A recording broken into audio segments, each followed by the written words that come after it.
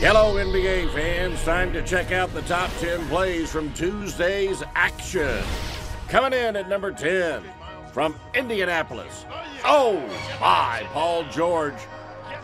Get out of his way because he's on a mission. At number 9 from the world's most famous arena, Kristaps Porzingis. Another big night. At number 8, Shabazz Muhammad trying to get it done for the T Wolves, and he did. Nice finish. At number seven, Courtney Lee, who returned to the Grizzly lineup after missing a couple of games, beat the buzzer at halftime with a three.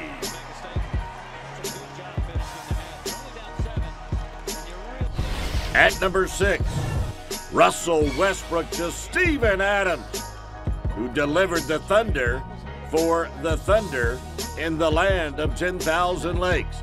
Steven reaching back throwing down hard. Number five, Jonathan Simmons with a big block to help the Spurs make it nine in a row.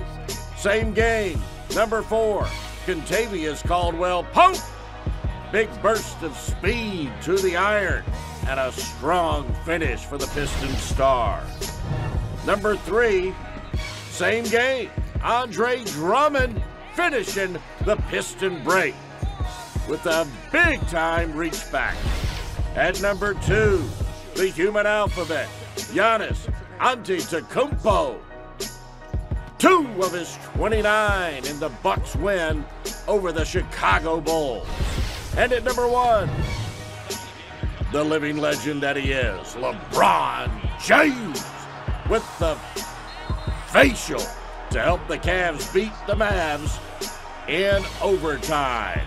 LBJ with the number one play from Tuesday. Comes up short, offensive rebound. Curry